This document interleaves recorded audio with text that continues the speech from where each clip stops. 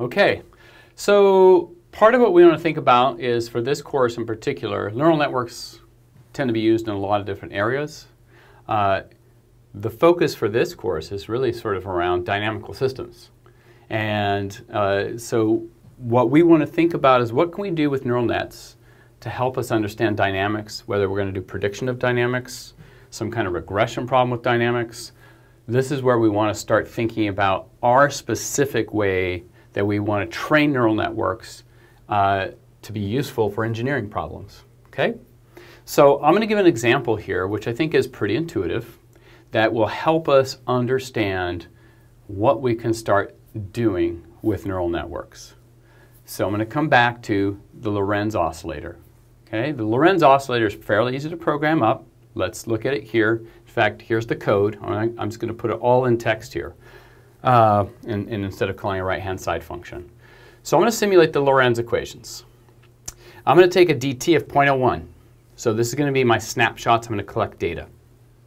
So this is going to be, in some sense, my label of data. So I'm going to actually say I know the time snapshot of each pair of data. And what I'm going to try to do is use build a neural network to do predictions of the dynamics. So I want to build a essentially an integrator from learning from lots of trajectories so that I can give you some initial condition and you can predict the future with a neural network instead of, instead of running something like OD45.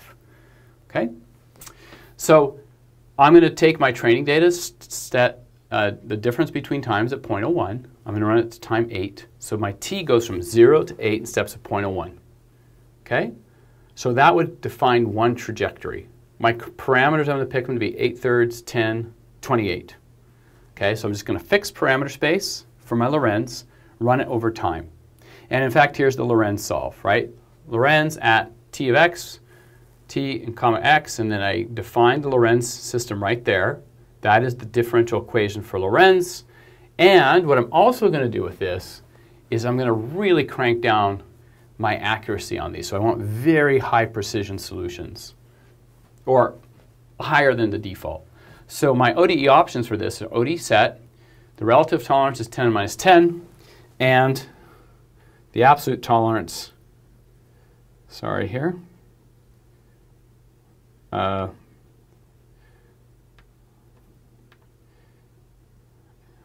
It's something similar. It's, think it's 10 to minus 12 or 10 to minus 11. So crank this way down. Those are my ODE options. So I'm going to really try to get very nicely resolved trajectories that are very accurate. Okay? So that's it. So I'm going to take that. That's my solve. And now what I'm going to do is I'm going to run a bunch of trajectories.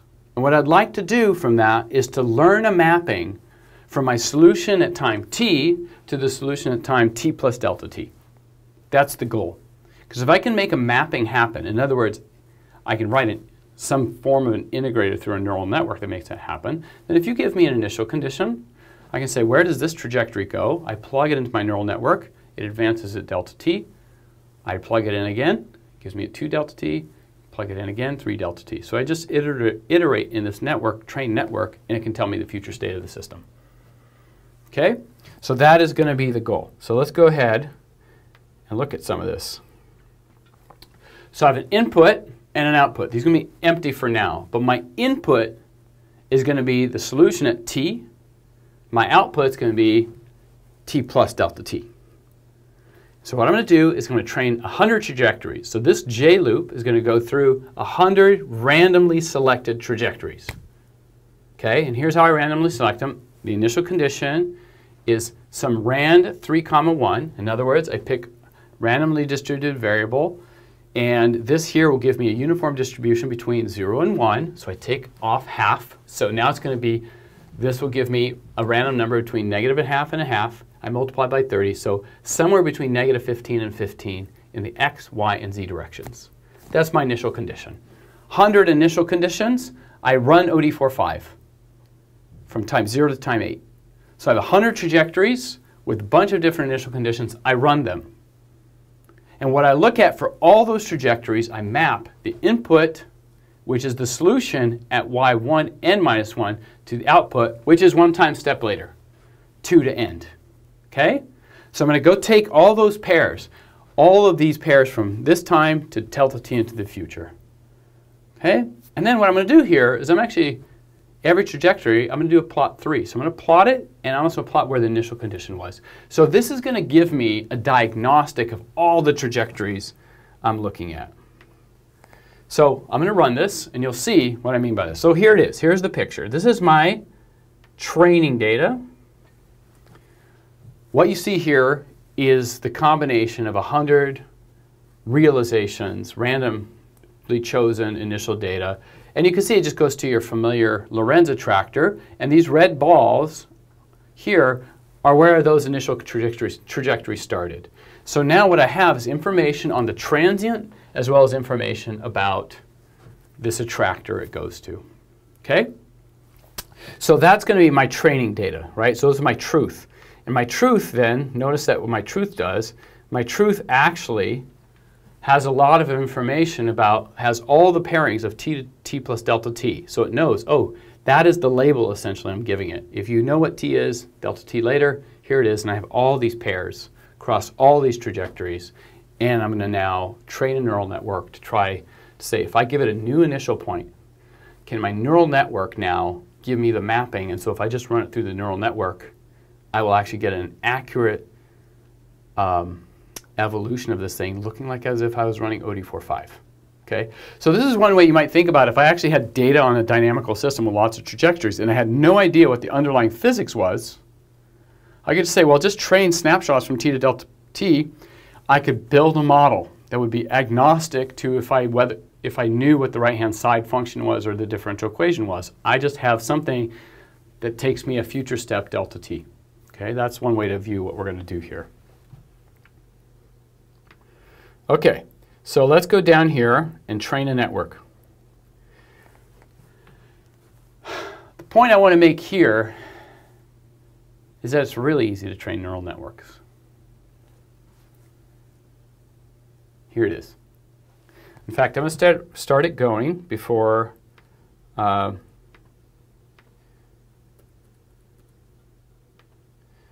Okay, let me just run this thing. Okay, so here is my neural network that we're going to train. It's these five lines of codes.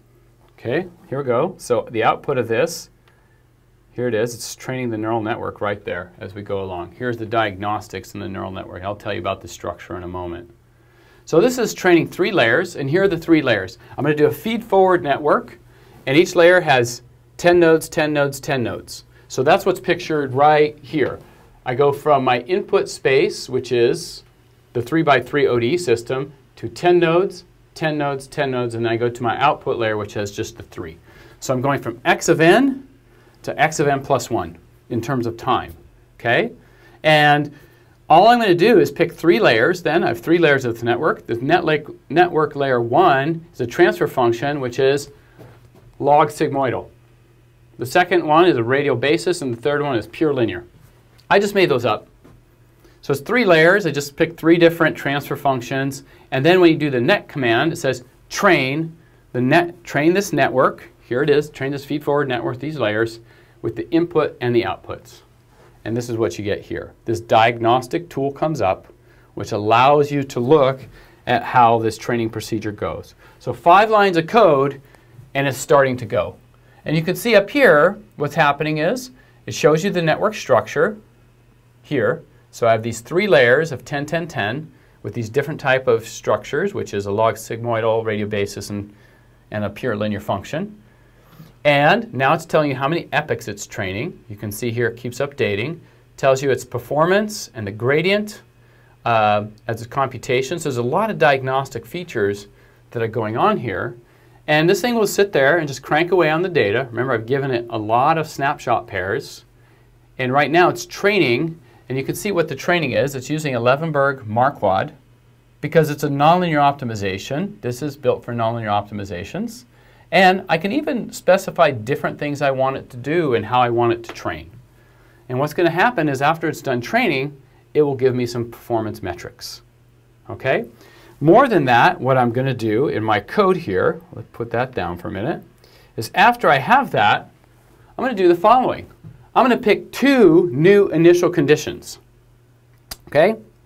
And so with these new initial conditions, I'm going to take that new initial condition, and with that trained network, I'm going to say, okay, let me run what OD45 would give me for the future state of the system out from time 0 to 80, sorry, time 0 to 8, and let me take my trained neural network, which gives me a map from t to t plus delta t, and take my initial data, throw it into my neural network, get a next step. This is what I do here. So I run, first of all, here, OD45 with the trajectory.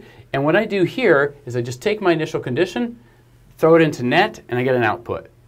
And what I do now is I just keep recursing on this, right? So that gives me delta t into the future, put it back in, 2 delta t in the future. And what I want to do is compare what does OD45 do where it's set down to tolerance of 10 minus 10 versus this trained neural network.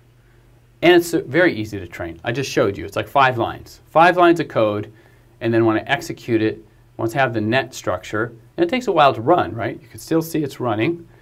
It will come back and give me this net, and then I can plot the result of that. So that is one of those initial conditions.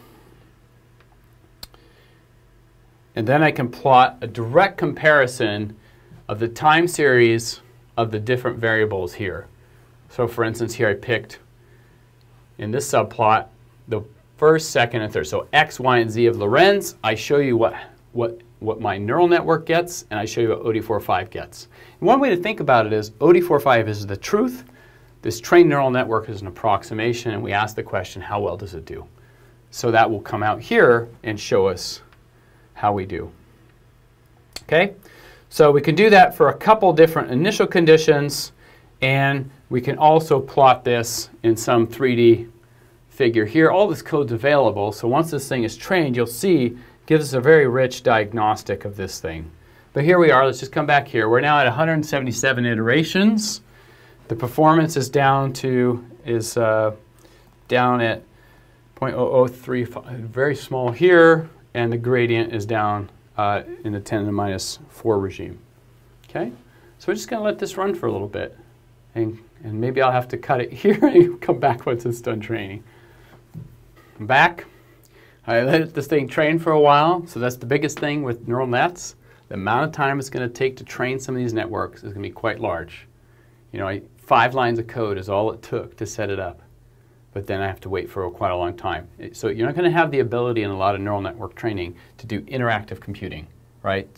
You're going to be doing these very large optimization problems, so you want to set them on your back and on some server somewhere, let it train for a while and come back. Here, this thing went through uh, about 440 iterations, and I actually stopped it because I wanted to finish this lecture up. But I had pretty good errors that it converged to and so forth. And in fact, you can start looking at some of the features of this when you start thinking about, uh, when I look at the performance, here's the performance of this thing. So this shows you the convergence as it was actually training. Now I stopped at 440 and you see here it does a training, a validation, a test set, and it looks at the performance on each. So this thing was getting better and better. I could have let it keep going, but I decided to stop it at this point. Okay? But you can see this is down here, this is 10 to minus 4. So I'm getting very nice convergence results, it's just very slow. Okay? So right away this tool that we have available to us, this neural network tool, gives us a pretty good way to evaluate how we did. Okay? Now what I want to look at now is something like this. And you know, I just picked two random trajectories, and it turns out they might not have been the best, but you know, since I they were randomly chosen, that was actually just the computer picking them. Uh, and so what is this plot here? This plot here shows you two initial conditions that were not in my training set. So this is now in my test set. So I'm going to say I have now two initial conditions randomly chosen. And what I want to do is ask the following question. From these two red points, I'm going to run my OD45 solver with this absolute tolerance and, and relative tolerance set way down. Okay, so a very accurate simulation of OD45. And what I'm going to compare it against are the dotted lines you see on top of there, which are this trained network taking those same initial conditions and advancing the solution every delta t. And you can see the actual solution and the OD45 seem to be pretty dead on. And that's kind of remarkable, right? So essentially what I've done is I've trained this thing to be this amazing coder. So let's see if we can zoom in here. It's hard to do in three dimensions. So what I've done instead is, instead of looking at this, we can also look here at this plot here. And what this is, actually, let's go back to here. So what this plot is here is the two initial states. So with one of the initial conditions, what you see here, and the second initial condition, the Lorenz versus the neural network. So what I've done is I've just basically run, uh, and they're right on top of each other. The blue and red are right on top of each other. In other words, my neural network is basically exactly dead on with the OD45 solver. Okay. Now this isn't so interesting because it hasn't switched lobes, maybe just two bad choices. Let's run it again with two other different initial conditions so you can maybe see a little bit more diversity of what's going on. So let's bring back our code here. And what I want to do is start from here. So not, I don't want to train the network again because that took forever. Here, I'm just going to run that section again. So this is where Again, remember that was just training the network. And now once I have it trained, I'm not training it again. I'm just going to take it, run it through, and here we go. Here's a maybe a little different view. Two different initial data points. Okay, hold on, it's getting the second one on there. There we go, okay. So here we go. These are two new different initial data points, and here you go. So let me just get a view here. Okay, here we go. So the red dots, two initial data points, and you can see I do really well tracking initially, and then you can see one of our predictions falls off the actual solution, right? But one of them tracks pretty well. So you can see that the neural network is going to fall off, right? We know that there's a sensitivity condition around the Lorenz equation. But it's remarkably how long you stick on this thing. And remember, the neural network sees time steps of 0.01, where your OD45 is taking much smaller time steps to keep that 10 to minus 10 accuracy. So this is uh, this, the, your evolution there in 3D. And then if I look here and do a comparison, here's what you get. So eventually the blue and the red separate, the truth as well uh, uh in, the, in the, the, neural network versus the OD45, they diverge, right? So that happens right about here where they fall off of each other, whereas these guys stay directly on, okay? But it's kind of remarkable. I trained this neural, neural network to do this. Basically, it gives me a pretty good approximation to what the OD is doing. Now, if I didn't know what the OD was, imagine how useful this is. I didn't know his Lorenz. I just simply have time measurements of a system between t to t plus delta t. And if I had just had that alone, and I don't know what the equations are, I can use this neural network to train for me a module that would take me from time t to t plus delta t. And you can see it works remarkably well against the truth. So these are the kind of things you can do with neural networks. These are the kind of things you can do to train and start to augment your understanding of the dynamical systems. And I do want to point out, there it is, five lines of code. Extremely simple and exceptionally powerful. It does take a long time to train that, but once you have a trained network, you're, you're, you you have this now new way to predict future states. And I can do this even if I don't have the underlying dynamical system. So this is where we're going to go with neural networks and start thinking about them to help us understand complex dynamical systems.